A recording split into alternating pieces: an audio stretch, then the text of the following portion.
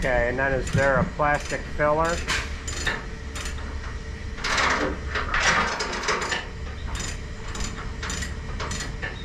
Okay, there's a metal snap ring on that top. Okay. Okay, big cylinder for that, that thing. Okay. All right. Ah, send it next day. All right, thank you.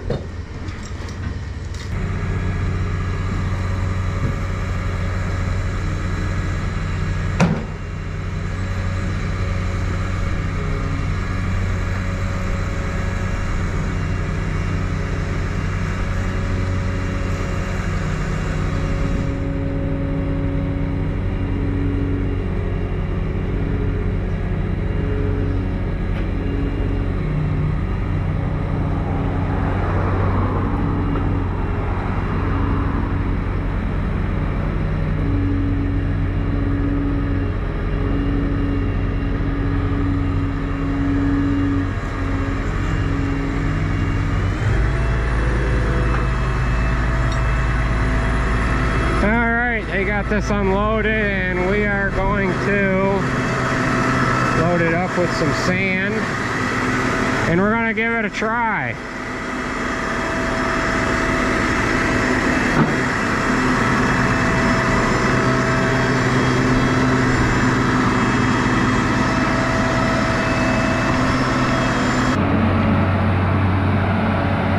Well, we're getting ready to do a little demonstration of this Nuhn sand truck. And before we put anything in it, we're going to run it across the scale to get an empty weight on.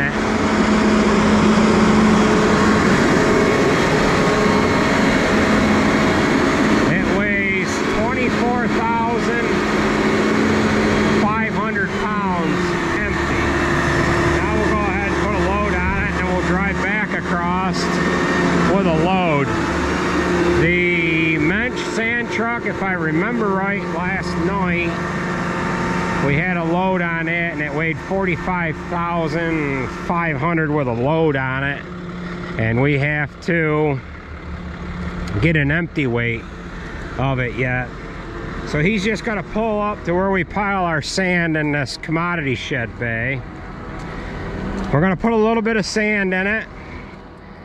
We're gonna run it off, make sure our guy knows how to run the controls, and then we'll put a big load on it, and we'll take it over to the heifer barn and bed some uh, heifer stalls with it. This is where we pile our sand. We piled in two uh, commodity bays or two bays up to the commodity shed. He's just gonna put a bucket load or two on, empty it off, and then we'll we'll put a big load on it after that.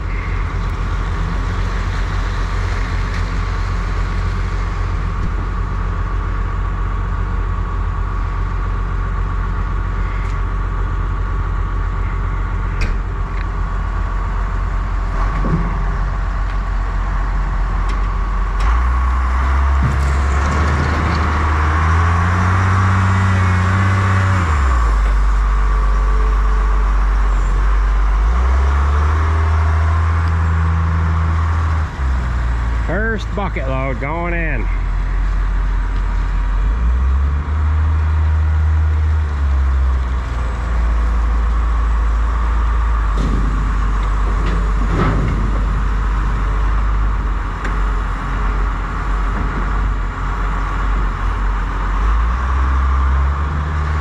You want one, Dan, or you want two? Okay. Put one more on and then he'll just pull up to this bay and offload it and then we'll put a big load on I don't know, probably should stick with one bucket load that'd be easier to shovel off than two if it's don't work you know You You're gonna be you gotta have some faith in it. yeah yeah You're buying lunch, right? If we got to shovel this off? Oh, hell yeah. Okay, all right.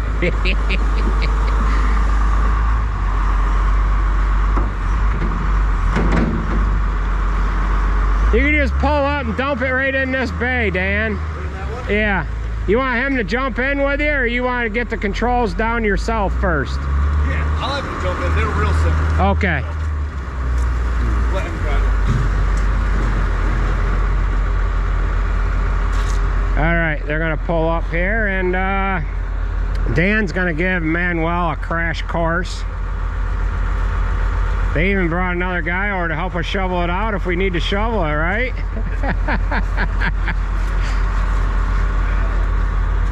right, man. How about this? nice looking unit. You know that? It's the visibility.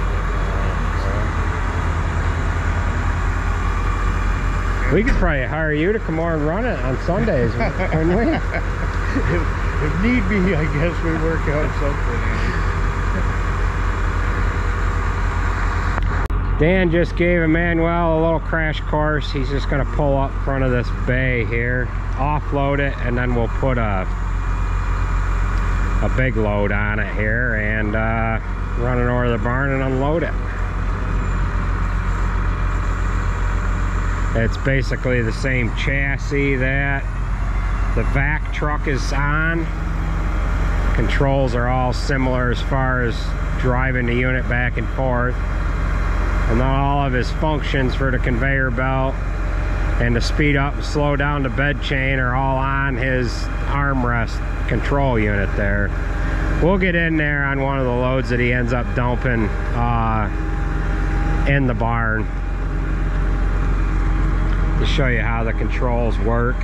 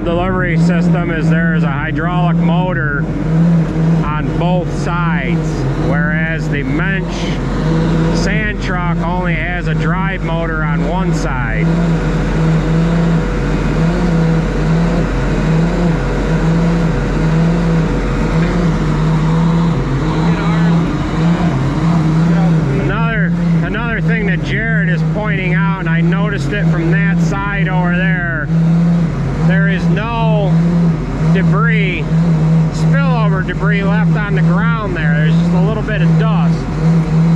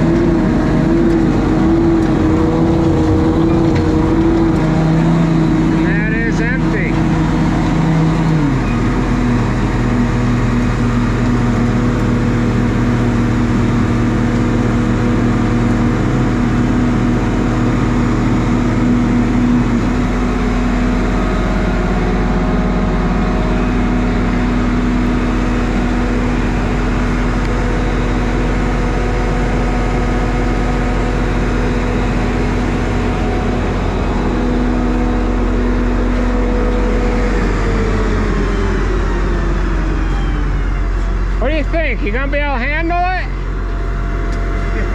Minimal Yeah. spillage.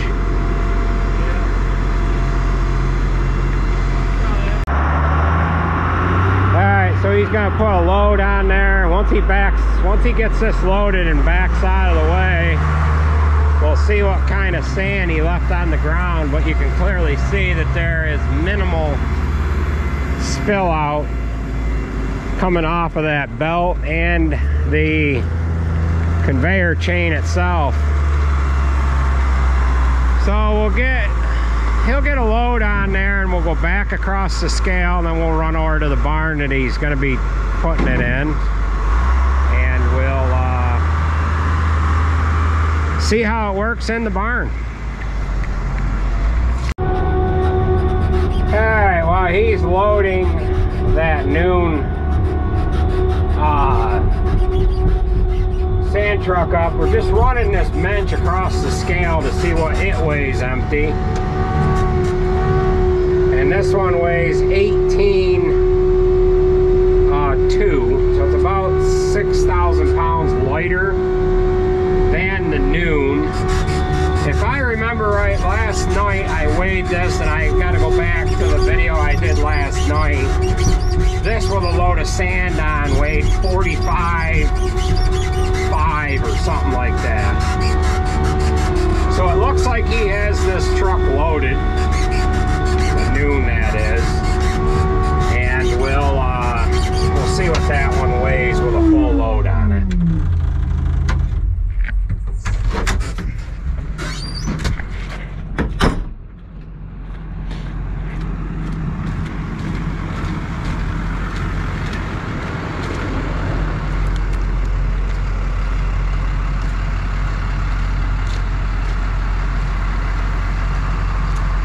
Hey, Manuel. Hey.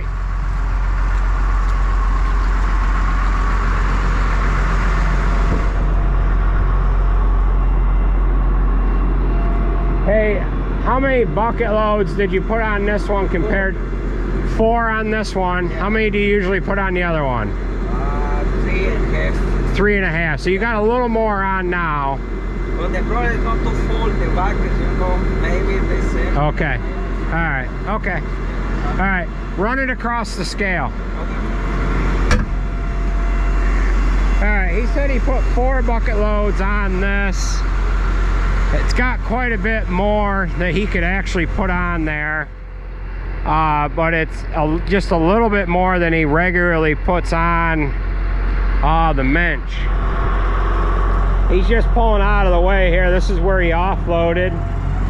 And he may be, there might be a, a tenth of a five gallon pail's worth of sand uh, on the ground that spilled off of the apron chain and the, I guess there's a little more than that. That's what came off of the apron, or the uh, belt and the uh, bed chain.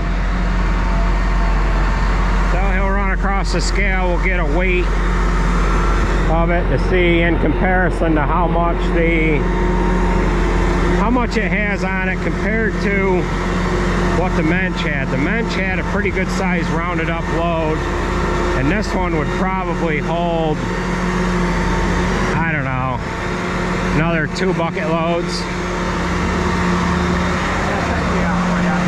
Scale reading. All right, he's getting ready to pull on the scale here. That was what, 24.5? 24.5 empty weight. And he has a loaded weight of 49,000. So he's got 12 and a half ton on there. Did I do the math right on that? I'm pretty good with that math, ain't I? I just make up the... yeah. Well, 12 and a half.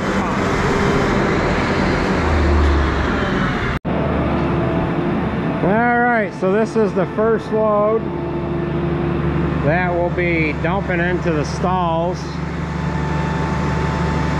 off of this Nuhn sand truck. Now we dumped some in the commodity shed bay just to get the idea how it works and to make sure everything was gonna work. Now we're gonna start and bedding these stalls. Now we've got the same amount of weight this machine as we had on the mensch truck last night, which that truck on the, that load on the mensch truck was a rounded up load. This one here, this load that we have on this one would have held a lot more. And we are going to uh, put a larger load on it the next time we load it. So it looks like he's gonna need to get a little closer to the stall.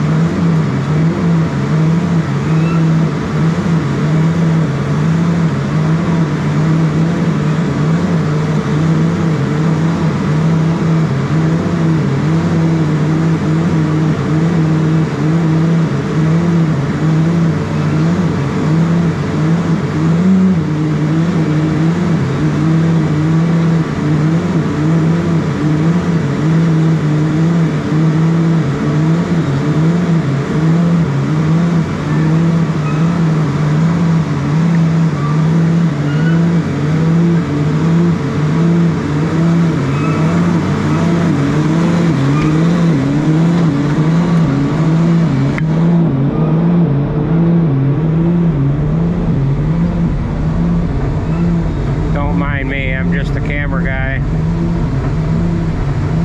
So everything is all run right from here, is that correct?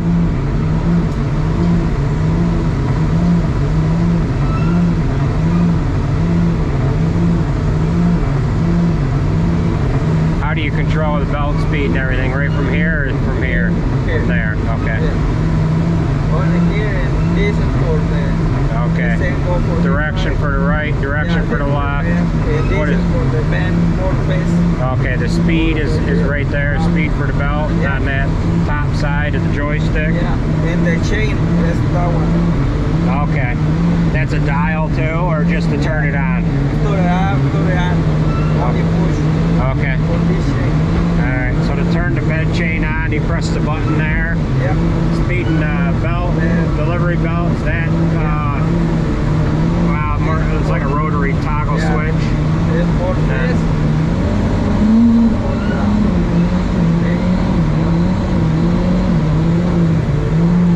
A lot of functions are right on the actual joystick.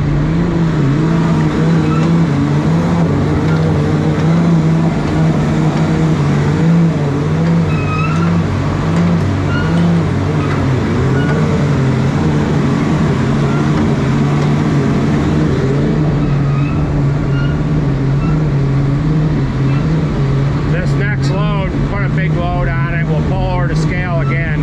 Just go right around the commodity shed, just drive right over to scale out. You don't even have to stop.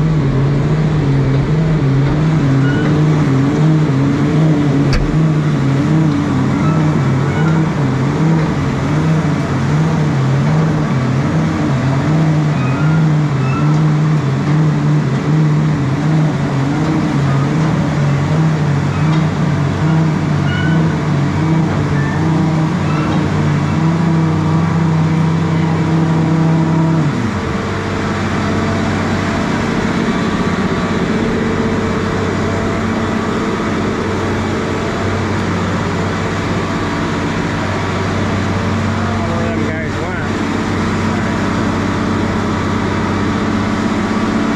Alright, he is empty and he's gonna back out of the barn here and go and get another load. So that's number one.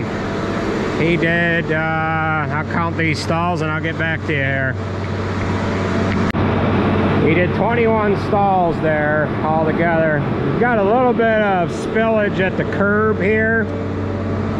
Um, once he got his over a little farther, he did a little better job uh, getting it all in the stall. But all in all, it's uh, pretty good. Very minimal amount here on the floor. And then we'll get a video of the mensch truck uh, dumping in here as well. Alright, here is load number two. I did not get over there to the scale in time. Hey, did you have to look at the scale? How much did you have? What'd you gross? How much? Four bucket loads? Okay, you didn't look at the scale though, did you? Oh, you didn't. He didn't get to the scale, but he's got four full bucket loads on there. We'll uh, we'll get a weight of this when he's got a little more on it, just to give you an idea how much it'll actually hold compared to what the uh, mensch holds. Now he's going to change up his technique a little bit here. He's a little more used to being able to run that machine. We're going to see if we can't uh, eliminate some of that sand that's splashed up against the curb. We were discussing a few things while he was off uh, getting this loaded up.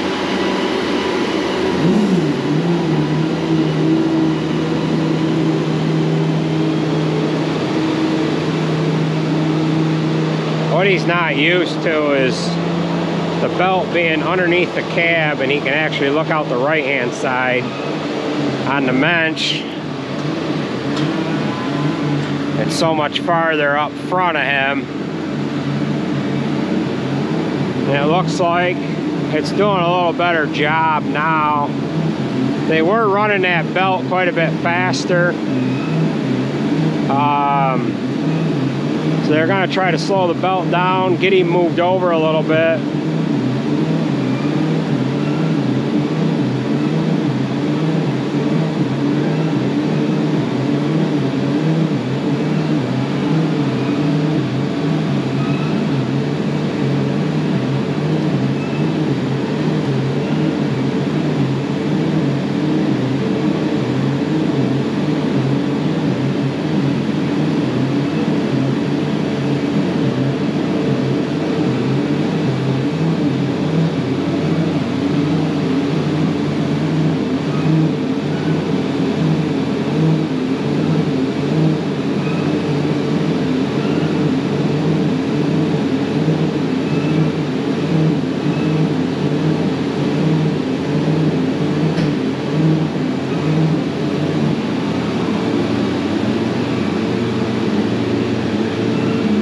That's a lot better there. Yep.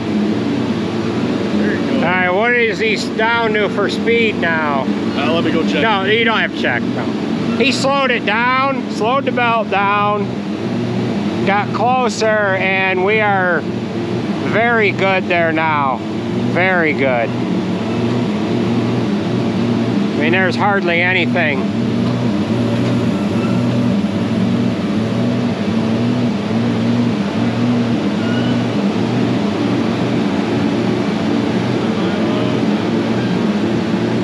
Yeah, that's a that's a lot better.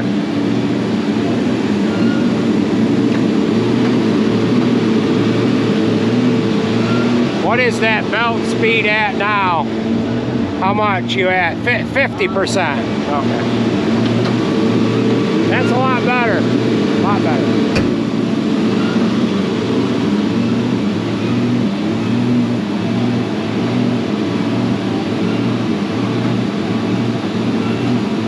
Yeah, that's a lot better. So this is load number two.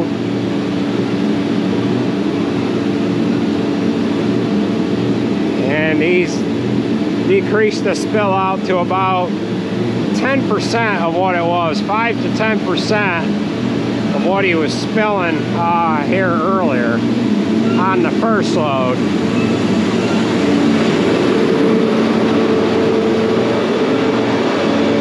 Here's where he started, here.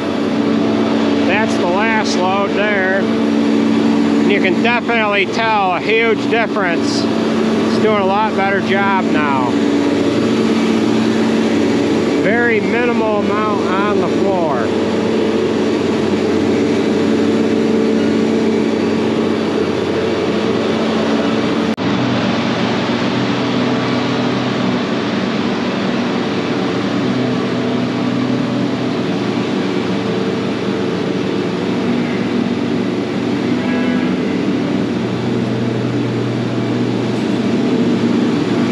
First load was bedding the actual dry cow section. Dry cow stop where that gate is, and then we've got uh, bred heifers down to that point. Uh, and then breeding age heifers are in the next group, the group he's going into now. We do have this sort gate uh, deal. Just a it's a drop gate uh, that we can get animals from one side of the alleyway to the other. That every once in a while does creep down, but he was able to get by that um, without any problem. Once in a while, the cows will push on that and it ends up down a little bit, so he just has to make sure he keeps an eye on that. We probably should put a chain around it up top here but there was very minimal spill out on that. Uh, these bunch of stalls here we're repeating ourselves but we have to bring that up because we did notice quite a bit uh, getting spilled down there. So this is where he adjusted himself from there uh, down adjust the camera a little bit so I'm hoping everybody can see that. We're going to repeat ourselves a little bit but once he adjusted himself he was a lot better with how much he spilled. Again uh, I'd adjust the camera because of the lighting in the barn here. So he is just about empty. He'll go grab his third load and hopefully we can get over there to get a weight of what he has on.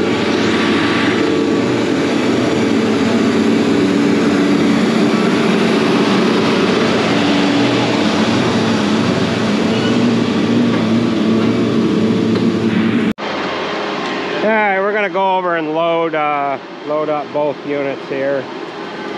He got he had a little bit more on. We're gonna load him up heavier. See if we can't get a few more stalls bedded here. These heifer stalls are a little narrower than the uh, cow stalls. Uh, what are we at here? So we're gonna count the stalls, but uh, we're at 40 inches, so it's kind of unfair to count how many stalls we have uh, bedded on that load, but we'll count them anyways. So he bedded 18 52 inch stalls and uh, 17 40 inch stalls. So you guys can do the math on that. That first load did 21 52 inch stalls.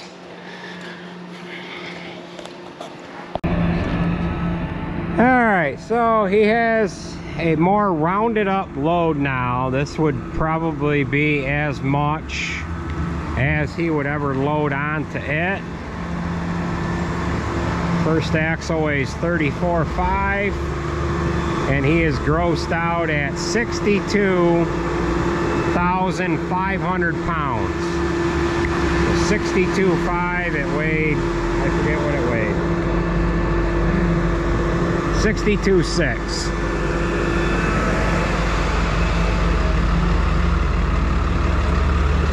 Sixty-two six. What was he? Twenty-four empty. Yeah, 24.5, yep. So 18,000, 28, 40, 30, 38,000. 19 ton. 19 ton of sand. All right. Yeah, 19 ton of sand on there. All that third load just went through here on the Nuhn. Manuel has jump seats. That had uh, 19 ton on it. This has got about, oh, 13, 12 or 13. Uh, it grossed out at 45,000.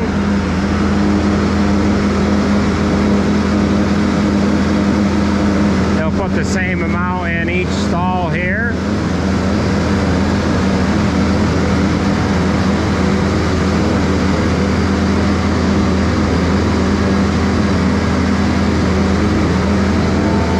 That's just to give you an comparison between the two uh, sand trucks. Got a little bit more spilling off the belt on this one. But it's not, it's not bad. Quite a bit more spilling on the floor coming off of the belt. Also notice that this sand truck has only got one drive motor on the belt right there. Whereas the Nuhn has a drive motor on each side. And it's got different um, rollers underneath the belt in the center. And the belt's not all the time doing this. The door on the Nuhn, the adjusting door is hydraulic, whereas this one is just a manual crank.